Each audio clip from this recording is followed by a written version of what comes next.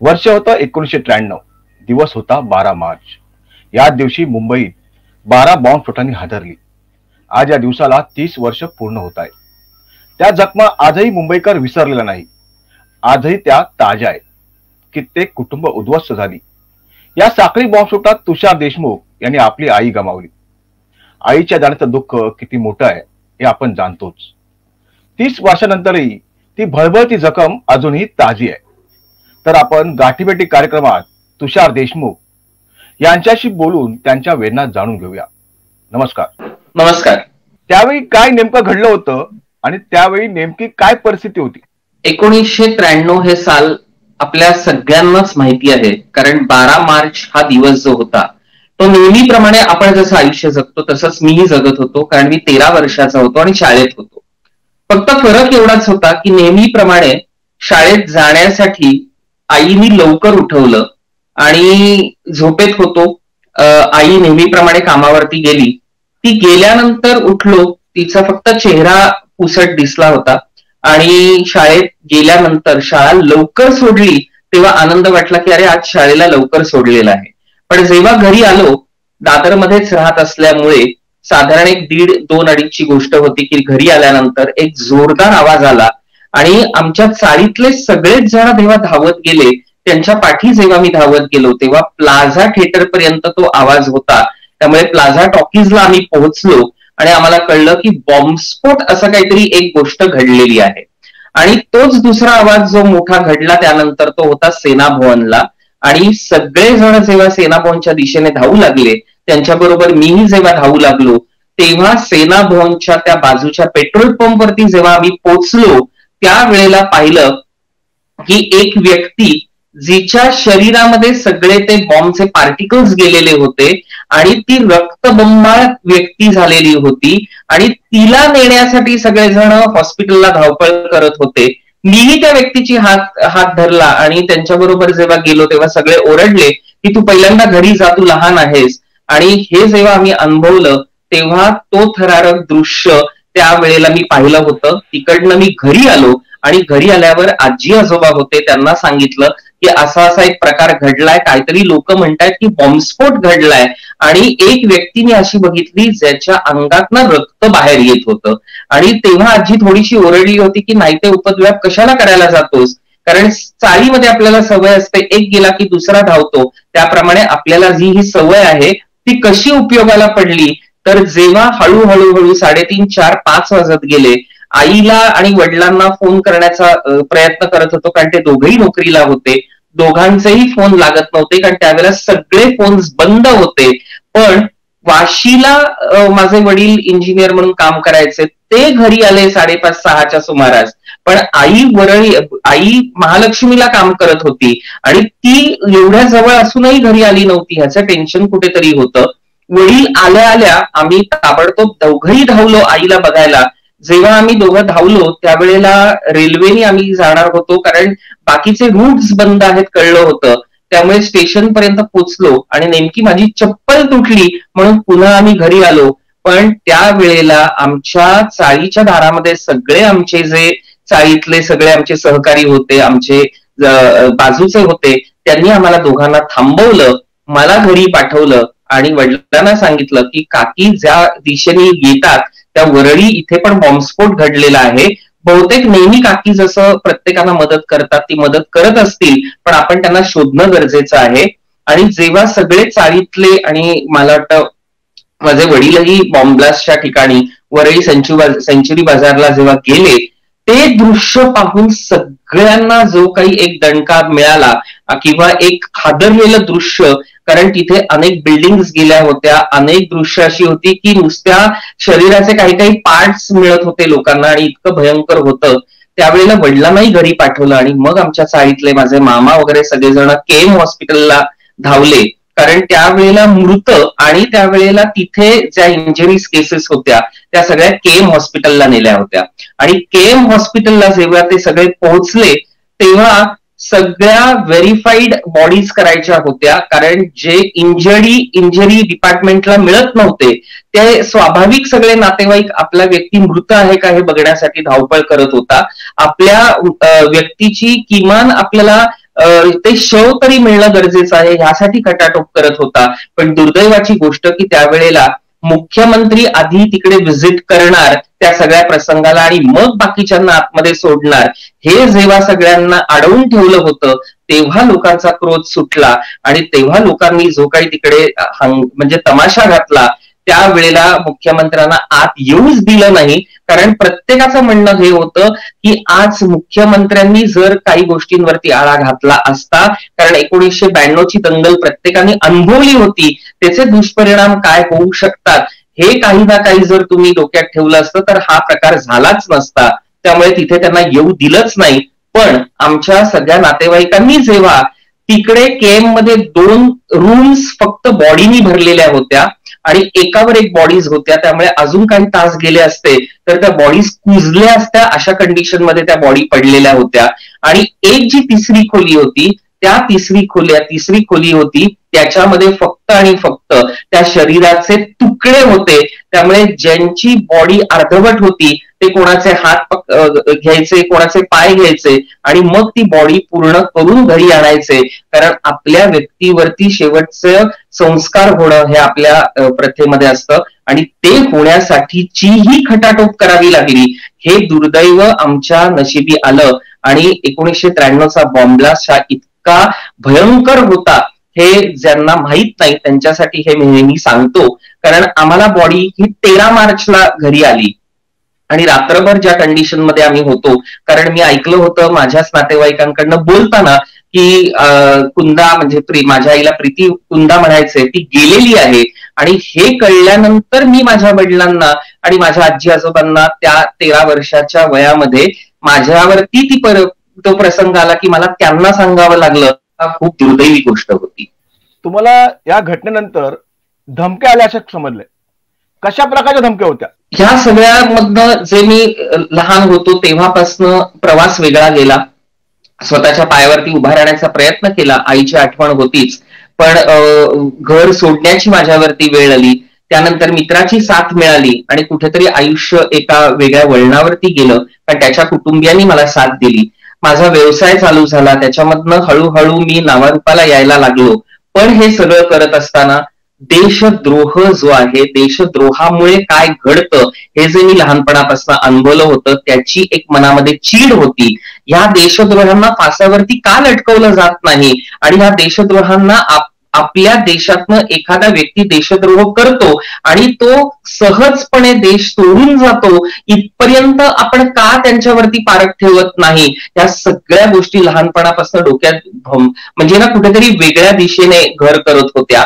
पण जेव्हा वेळ आली की संजय दत्त म्हणजे ब्याण्णवच्या वेळेला जेव्हा संजय दत्त ह्या व्यक्तीला म्हणजे आमच्यासाठी तो देशद्रोहीच आहे त्या व्यक्तीला जेव्हा त्याच्याकडे आरडीएक्स आणि ए के फिफ्टी सेव्हन सापडल्याच्या दोषामध्ये देशद्रोहाच्या देश आरोपामध्ये त्याला पकडलं गेलं होतं त्यावेळेला त्याच्यावरती करोडो रुपये लागले आहेत आणि म्हणून त्याला त्याची सजा कमी व्हावी. तो जेलमध्ये खूप चांगल्या वागणुकीमुळे त्याला सोडावं. हे जेव्हा आलं तेव्हा पहिल्यांदा पुढाकार घेतला एक विक्टीम म्हणून. कारण मी माझ्या आईला गमवलं होतं. अशा अनेकांनी अनेकांच्या आई वडिलांना गमवलंय. अनेकांनी मुलांना गमवलंय. त्यांचं दुःख काय असतं हे मला माहिती आहे. त्यामुळे मी कुठेतरी पुढाकार घेऊन बोलायला लागलो. आणि त्या वेळेपासनं एक काही यंत्रणा अशी होती की माझ्यावरती दबाव टाकण्याचा प्रयत्न करत होती की हा व्यक्ती म्हणून जर बोलला तर आपल्याला कुठेतरी त्रास होईल. अशा पद्धतीने काही मीडियाच्या माध्यमातून पण मला धमकवण्याचा प्रयत्न केला गेला होता. पण एका बाजूला मीडियानी ज्या पद्धतीने माझे इंटरव्ह्यूज घेतले ते खूप सकारात्मक दृष्टिकोनातनं लोकांपर्यंत पोचले हेही तितकंच महत्वाचं होतं. पण त्या लढ्यानंतर कारण ज्या वेळेला मी संजय दत्तचा लढा केला त्यावेळेला त्याला पूर्ण सजा भोगावीच लागली. पण जरी भोगावी लागली त्यांनी भोगली असली तरी आजही तो आमच्यासाठी देशद्रोहीच आहे.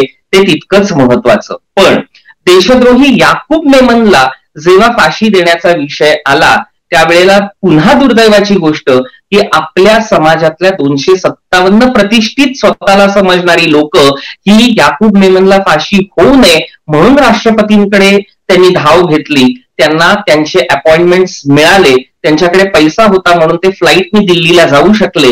आमच्याकडे पैसा नाही का? आमच्याकडे या सगळ्या यंत्रणा नाही. म्हणून आम्ही तिथपर्यंत पोहोचू शकलो नाही. पण एक विक्टीम म्हणून याकूब मेमन देशद्रोही याकूब मेमनला फाशी झालीच पाहिजे तरच आम्हाला आमच्यासारख्या कुटुंबियांना न्याय मिळेल. ही कुठे धारणा माझ्या मनात होती तेव्हा पुन्हा मीडियावरती बोललो.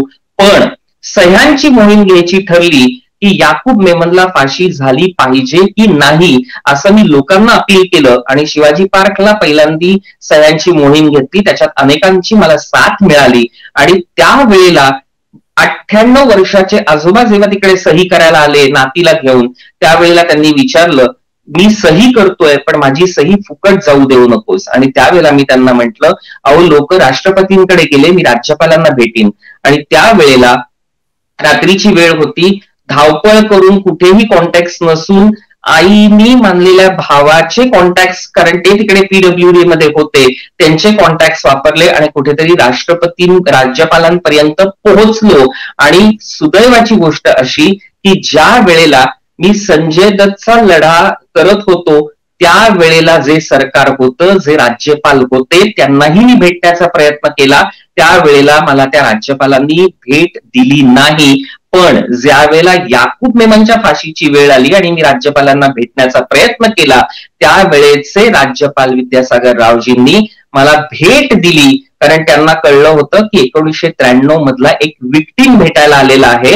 आणि त्यावेळेला ती सह्यांची मोहीम मी जेव्हा त्यांच्या हातात सुपूर्द केली तेव्हा त्यांनी मला बसवून एकोणीसशे त्र्याण्णवमध्ये नक्की काय झालं आणि त्यानंतर आम्ही आमचं आयुष्य काय भोगलं हे जेव्हा त्यांनी ऐकून घेतलं तेव्हा तेव्हा त्यांनी मला आश्वासन दिलं की याकूब मेमनच्या फाशीचा जेव्हा तुम्ही आमच्याकडे येऊन प्रस्ताव देताय सह्यांची मोहीम तुम्ही आमच्या सुपूर्द करताय तेव्हा आमच्याकडनं जितकं शक्य होईल तितका न्याय आम्ही करण्याचा नक्कीच प्रयत्न करू. आणि त्यानंतर मी त्यावेळेचे मुख्यमंत्री देवेंद्र फडणवीस जी यांच्याकडेही गेलो आणि त्यावेळेला त्यांच्या मार्फत म्हणजे आशिष शेलार यांच्या मार्फत सुनील देवधरजी यांच्या मार्फत त्यांच्याकडे पोहोचलो आणि त्यांनीही जेव्हा आश्वासन दिलं त्यावेळेला ज्या पद्धतीने माझी पहिली न्यूज की माझ्यामुळे याकूब मेमनला फाशी मिळणार ही न्यूज वॉशिंग्टन न्यूज पेपरमध्ये जेव्हा जाहीर झाली त्यावेळेला मला पहिला थ्रेट कॉल आला आणि तो थ्रेट कॉल असा होता अननोन नंबरवरती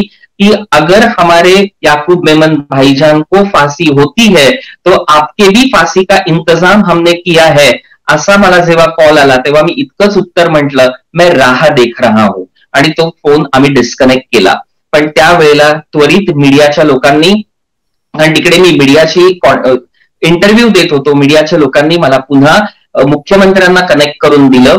आशिष शेलारजी होते आणि त्यावेळेचे सीपी राकेश मारियाजी तिकडे होते. त्या सगळ्या कॉलचं व्हेरिफिकेशन झालं आणि त्वरित मला सिक्युरिटी गव्हर्नमेंटकडनं दिली गेली हे तितकंच महत्वाचं आहे. कारण पुन्हा पुन्हा आम्ही हेच सांगतो की जेव्हा एखादी आमच्यासारखी पीडित व्यक्ती देशद्रोहाबद्दल बोलते तेव्हा आम्ही काय भोगलंय त्यामुळे आम्हाला हा देशद्रोह मुळापासून संपवायचा आहे. पण जर आम्ही बोललो तर आम्हाला धमकी येते. ही दुर्दैवाची गोष्ट. आणि त्याच वेळेला मी ज्या मित्राच्या घरी राहतो त्याच्याही घरी त्याच्या आईला धमकीचा फोन आला होता की जहा भाईजान रहते है आप उन हमारे भाईजान को कुछ होता है तो आपका पुरा कुटुंब हम उद्ध्वस्त कर देंगे. त्यावेळेला त्या काकीही इतकंच म्हणाल्या की आप आके तो दिखाव आणि हे बोलल्यावरती पण तो फोन डिस्कनेक्ट झाला. त्यामुळे ह्या सगळ्या गोष्टींना आम्ही कधीच घाबरलो नाही ना पुढे कधी घाबरू. नक्कीच. याला हिंमत लागते आणि तुम्ही हिंमत दाखवलात. दुसरं असा आता तुम्ही बोललात की त्यावेळी मुख्यमंत्री होते शरद पवार. हे केममध्ये आल्यावर त्यांना अडवण्यात आलं. त्याने या बॉम्बस्फोटावर असं एक विधान केलं आहे की तेव्हा बारा नाही तर तेरा बॉम्बस्फोट झाले होते. आणि तेरावा बॉम्बस्फोट हा प्रॉफिट मार्केटच्या इथे झाला होता. आणि नंतर त्यांनी कबूल केलं होतं की मुस्लिम बहुल भागात मुस्लिमाबद्दल त्यांच्याबद्दल रोष निर्माण होईल म्हणून मी ते बोललो होतो. तर त्याबद्दल तुम्हाला काय वाटतंय? एक हास्यास्पद गोष्ट अशी आहे की त्यावेळेचे मुख्यमंत्री शरद पवार ज्यांना आपण धूर्त राजकारणी म्हणतो पण त्या राजकारणी माणसाने किती कुटुंब उद्ध्वस्त केली आहेत या प्रकरणामध्ये हे आम्हाला विचारा. त्याचं कारण असं आहे की एकोणीसशे ब्याण्णवची दंगल ही कोणी विसरू नये. कारण एकोणीसशे ब्याण्णवच्या दंगलीचा दुष्परिणाम हा एकोणीसशे त्र्याण्णवचा हा बॉम्बस्फोट होता. एकोणीसशे ब्याण्णवच्या दंगलीमध्ये जातीवादाच्या प्रकरणामध्ये आपण सगळ्यांनी अनुभवलं की काय गोष्ट घडली होती.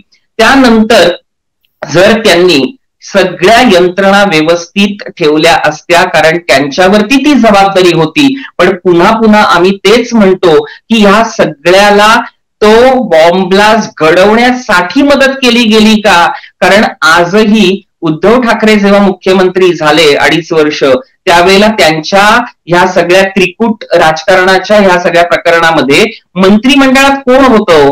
हेच सगळे जे त्या वेळेला शरद पवार म्हणतात आणि आज दाऊद इब्राहिम बरोबर ज्यांचे संबंध आहेत ते आज मंत्रिमंडळात आहेत ही दुर्दैवाची गोष्ट आहे. आणि जे प्रतिष्ठित व्यक्ती स्वतःला दोनशे सत्तावन्न लोक जे याकूब मेमनच्या वेळेला पुढे आले होते ते सगळे ह्या लोकांशी संबंधित आहेत ह्याचं दुःख वाटतं. त्यामुळे शरद पवार जेव्हा हे म्हणतात की आम्ही प्रॉफिट मार्केटचा कळून दिला नाही तो त्यांचा प्रॉब्लेम होता. पण त्यांनी जरी कळून दिला असता तरी एक लक्षात घ्या की हिंदू मुस्लिम ही जी काही भांडणाची तेढी पहिल्यापासून काँग्रेस करत आलेली आहे ती कधीही यशस्वी झालेली नाही. फक्त इतकंच आहे की देशद्रोह करणारा जो व्यक्ती असतो तो कधीही जात आपण त्याची बघत नाही तर तो व्यक्ती कोणत्याही जातीचा असो तो देशद्रोही असतो. त्यामुळे शरद पवार जे म्हणतात त्यांनी ती जबाबदारी त्यावेळेला स्वीकारून त्यावेळेलाच त्यांनी दाऊद इब्राहिमला आपल्या भारतामध्ये आणून फासावरती लटकवलं असतं. तर आपण म्हटलं असतं की धूर्त राजकारणी माणूस आहे किंवा लोकांच्या जनतेचा विचार करणारा आहे. पण फक्त जनतेचा कसा छळ करायचा आणि त्यांच्या मेलेल्या व्यक्तींच्या टाळूवरचं कसं लोणी खायचं आजपर्यंत फक्त त्यांच्या कुटुंबांनी तेच केलेलं आहे. त्यावेळच्या सरकारकडून तुम्हाला सहकार्य कसं मिळालं?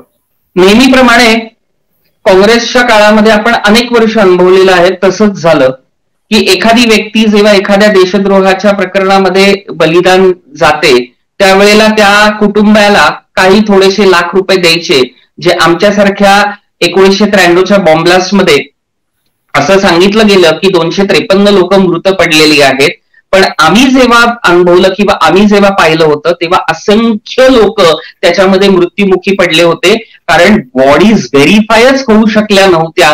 इतकं थरारक्त दृश्य होतं. पण त्यावेळेला शासनाने काय केलं? तर दोन लाखाची मदत जाहीर केली आणि कुटुंबियांच्या तोंडावरती आता ते गप्प बसतील हे दोन लाख घेऊन असं त्यांना वाटलं. पण आमच्यासाठी दोन लाख नाही तर आमची मोलाची जी व्यक्ती आम्ही गमवली आई जेव्हा आपण गमवतो वडील जेव्हा गमवतो किंवा आई वडील जेव्हा मुलांना गमवतात तेव्हा त्यांचं जे दुःख आहे ते आजपर्यंत आम्ही असंच जागृत ठेवण्याचा जो काम केलेलं आहे ते त्यांच्यासाठी दुःख दुःखद आहे. कारण त्यांना असं वाटलं होतं की दोन लाख दिले की ही कुटुंब गप्प बसतील आणि आपला विषय तिकडेच मिटेल. पण आम्ही ते कदापि होऊ देणार नाही.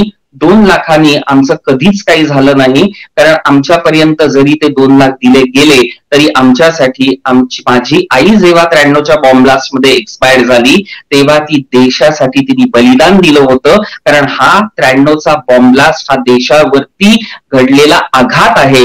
आणि त्यात जेव्हा एखादी व्यक्ती मृत्युमुखी पडते तेव्हा त्यांच्या कुटुंबियांची जबाबदारी घेणं हे त्यांचं काम होतं. त्यांनी कधी आमच्यापर्यंत ते पोचलेच नाहीत. कधीतरी त्यांच्या कुटुंबियांशी बोलणं संवाद साधणं किंवा त्यांची कुटुंबीय कसे राहत आहेत ह्याचा जरी त्यांनी उल्लेख केला असता किंवा बघितलं असतं पण ते त्यांना करायचंच नव्हतं. पण आम्ही बोलत राहणार दोन लाखांनी आमची तोंड कधीच गप्प राहणार नाहीत. त्यावेळी बॉम्बलास्ट होत होते. आज हे सर्व थांबलेलं आहे. संरक्षणाबाबत आपण अधिक जागरूक झालोय का? आणि आताच्या सरकारबद्दल तुमचं काय मत आहे? मला असं वाटतं ह्या प्रकरणामध्ये खरंच ज्या वेळेला मी उल्लेख केला दोन शासनांचा काँग्रेसच्या काळात जेव्हा मी संजय दत्त साठी राज्यपालांकडे गेलो त्यावेळेला मला भेट दिलीच गेली नाही. एक एकोणीसशे त्र्याण्णव मधला पिढीत जेव्हा भेट मागतो तेव्हा सगळ्या अपॉइंटमेंट बाजूला ठेवून मला असं वाटतं की त्यांचं प्रथम कर्तव्य असतं की त्यांनी आम्हाला भेट द्यावी. पण ती दिली नाही. पण त्याच वेळेला संजय दत्तच्या बाजूनी शबाना आझमी विदाऊट अपॉइंटमेंट माझ्या डोळ्यासमोर आतमध्ये गेली आणि ते पत्र देऊन आली.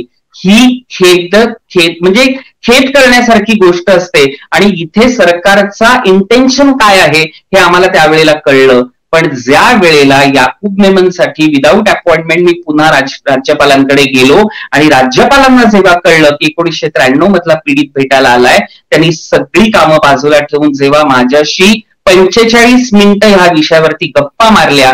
त्यावेळेला ह्या दोन सरकारबद्दलची आत्मीयता आपल्या देशाबद्दलची लगेच कळून येते. आणि त्याही महत्वाची गोष्ट ज्या वेळेला मी ह्या सगळ्या राजकारणी व्यक्तींना भेटलो कारण त्यावेळेला सरकारमध्ये प्रामुख्याने नरेंद्र मोदीजी जेव्हा पंतप्रधान होते त्यांच्या हाताखाली काम करणारे जेव्हा मुख्यमंत्री आपल्या महाराष्ट्राचे देवेंद्र फडणवीस जी होते त्यांना भेटल्यावरती आशिष शेलारजी यांना भेटल्यावरती आणि सुनील देवधरजी यांनी जेव्हा या सगळ्या प्रकरणामध्ये मला सहकार्य केलं त्यावेळेला गडक नितीन गडकरीजींनी माझ्या सह्यांची मोहीम हातात घेऊन त्यावेळेला पंतप्रधानांकडे सुपूर्द केली. आणि त्यावेळेला मला एक नक्कीच कळलं की रात्रीचा दरबार कोर्ट उघडून जेव्हा याकूब मेमनला फाशीचा निकाल दिला गेला त्यावेळेला रात्री किरीट सोमयाजी जे खासदार आहेत त्यांनी एका पीडिताला फोन करून सांगणं की आपल्याला न्याय मिळाला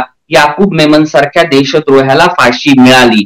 या सगळ्या प्रकरणामध्ये आम्हाला एक आधार मिळतो की जे सरकार आमच्याकडे डुंकवूनही पाहत नव्हतं आम्हाला उभंही करत नव्हतं आज हेच भारतीय जनता पार्टीचं सरकार जे राज्यामध्ये आणि जे केंद्रामध्ये आहे ते किमान आमच्या गोष्टी ऐकून घेतात आणि त्याबद्दलची आत्मीयता त्यांच्याकडे आहे हे सिद्ध होतं. हे फक्त बोलण्यासाठी नाही तर आम्ही हे अनुभवल्यामुळे आम्ही हे कायम बोलत असतो. आणि जेव्हा सुरक्षेचा प्रश्न येतो त्यावेळेला आम्ही हेच म्हणतो देशावरती प्रेम करणारं हे सरकार त्यामुळे ते कधीही असे अपघात होऊ देणार नाहीत ह्याची ते काळजी घेतात आणि त्याच्यासाठी त्यांच्या ज्या यंत्रणा आहेत त्या अत्यंत महत्त्वाच्या आणि आज काम करणाऱ्या यंत्रणा आहेत. आणि अजूनही आमची अपेक्षा हीच त्यांच्याकडनं आहे की ज्यांनी हा देशद्रोह घडवला तो देशद्रोही याकूब मेमन आणि त्याला साथ देणारे जित इतके व्यक्ती आहेत तेही देशद्रोहीच आहेत. जे काही गजाआड आहेत जे काही अजूनही गजाआड झालेले नाहीत त्यांच्या बाबतीतही लवकरात लवकर हे निर्णय घेऊन त्यांनाही आपल्या सरकारने पासावरती लटकवणं हे महत्वाचं आहे. आणि त्याचमुळे हे कळू शकतं जनतेला की देशद्रोह घडवल्यामुळे आपल्याला सजा काय होऊ शकते. पण दुर्दैवाची गोष्ट ज्या वेळेला एकोणीसशे त्र्याण्णव साली शरद पवार हे मुख्यमंत्री होते. त्यांच्या सरकारमधनं मेसेज काय गेला? देशद्रोह करा. देश सोडून जा. आणि ऐशो आरामात जगा किंवा ज्यांनी त्यांना मदत केली. ते आज अब्जोपती झाले. आज त्यांनी अनेक उपद्व्याप केले आणि त्यांनी त्यांनी मस्त त्यांचं आयुष्य जगलं. हा आपल्याकडे मेसेज आत्ता तरुण पिढीला जातो जो अत्यंत वाईट होता. पण आज जो मेसेज जातोय तो अत्यंत महत्त्वाचा मेसेज आहे की देशद्रोह केल्याचे परिणाम काय होऊ शकतात हे आजचं सरकार दाखवत आहे त्यामुळे आपल्याला हीच अत्यंत महत्वाची गोष्ट अनुभवायला मिळते. पंतप्रधान नरेंद्र मोदी यांचं सरकार आल्यापासून काय परिस्थिती आहे? तुम्हाला काय वाटतं त्याबद्दल मोदीजींचं सरकार आल्यापासून आमच्या सगळ्यांच्या म्हणजे आमच्याच सोडा आमच्या त्र्याण्णवच्या पीडितांचा सोडा ज्यांच्या ज्यांच्या देशद्रोहाच्या खटल्यामध्ये जे गुन्हे आहेत एकोणीशे त्र्याण्णवचा बॉम्बस्फोट हा जगातला पहिला बॉम्बस्फोट होता. त्यानंतर आपण अनेक बॉम्बस्फोट अनुभवले. मग ते ट्रेन मधले असतील की देश आतंकवादी हल्ले असतील असे अनेक हल्ले आपण अनुभवले. पण त्या त्या प्रकरणामध्ये जे जे आमच्यासारखे पीडित आहेत त्यांना ज्या सरकारनी न्याय देण्यासाठी खटाटोप केली किंवा आम्ही जेव्हा एखाद्यांपर्यंत पोहोचण्याचा प्रयत्न करतो तेव्हा आम्हाला त्यांनी दरवाजे उघडून आत बोलवून सन्मानाने बसवण्याचा प्रयत्न केला आणि आमची गाराणी ऐकली ते हे मोदी सरकार. कारण आम्ही फक्त बोलत नाही आमच्याकडे त्याचे पुरावे आहेत जे मी आता इंटरव्ह्यू मध्ये दिलेले आहेत. आणि ह्याचमुळे हे कळतं की नरेंद्र मोदीजी यांचं आपल्या देशावरचं असलेलं प्रेम हे किती जागृत आहे आणि किती जाज्वल्य आहे. आणि त्यासाठी असे पंतप्रधान लाभणं हे आपल्या मातृभूमीचं खरं तर आपलं सगळ्यांचं या मातृभूमीवरती जेव्हा आपण जगतोय आपलं भाग्य आहे की असे पंतप्रधान मातृभूमीचा एक सुपुत्र आपल्याला लाभलाय हे आपलं भाग्य आहे. या स्फोटाचे मास्टर माइंड अजूनही मोकाट आहे त्याविषयी काय वाटतं काय वेदना आहेत? मी वारंवार आज गेले तीस वर्ष ह्याच विषयावरती बोलतो आणि म्हणून मी बोलणं कधीच बंद केलेलं नाही. हे बंद न करण्याचं कारण एकच आहे कारण तुम्हाला एक महत्वाची गोष्ट सांगतो. जेव्हा जेव्हा आम्ही एकोणीसशे त्र्याण्णव विषयी बोलतो कारण मी माझी आई गमावली आहे. आज माझ्या डोक्यामध्ये काय चालतं किंवा माझी सायकोलॉजी कशी चेंज होते किंवा आम्हाला त्याच्या वेदना काय होतात आजही हे बोलताना हे आम्हाला माहिती असतं. पण आम्ही हे बोलणं बंद करत नाही याचं कारण एकच आहे की देशद्रोही दाऊद इब्राहिम अजूनही मोकाट फिरतोय. जोपर्यंत त्याला फासावरती लटकवलं जात नाही त्याचा नामोनिशान आपल्या देशामधनं हटवला जात नाही तोपर्यंत आमच्यासारखे पीडित मी तरी नक्कीच बोलत राहीन. याचं कारण असं आहे की आमची अपेक्षा मोदीजींकडनं हीच आहे देशाचे आज ते पंतप्रधान आहेत त्यांच्याकडनं आमची अपेक्षा हीच आहे की आज किंवा म्हणतात ना की आपले संरक्षण मंत्री आहेत. म्हणजे ह्या सगळ्यामधनं मला असं वाटतं की त्यांनी जे आज कार्य केलेलं आहे हे कार्य पण त्यांच्या हातून नक्कीच घडेल की देशद्रोही दाऊद इब्राहिमला ते एक ना एक दिवस फासावरती लटकवतील. आपल्या भारतात आणून आपल्या सगळ्यांसमोर हा न्याय जेव्हा होईल तेव्हाच आम्हाला एक रिलीफ मिळेल आणि हीच आमची त्यांच्याकडनं अपेक्षा आहे. तर हे होते तुषार प्रीती देशमुख. यांच्याशी आपण नेमकं बारा मार्च एकोणीशे त्र्याण्णव ला नेमकं काय घडलं त्याला सामोर ते कसे गेले हे जाणून घेतलं. तर आम्हाला तुमचा बहुमूल्य वेळ दिलात. त्याबद्दल धन्यवाद आणि आभार.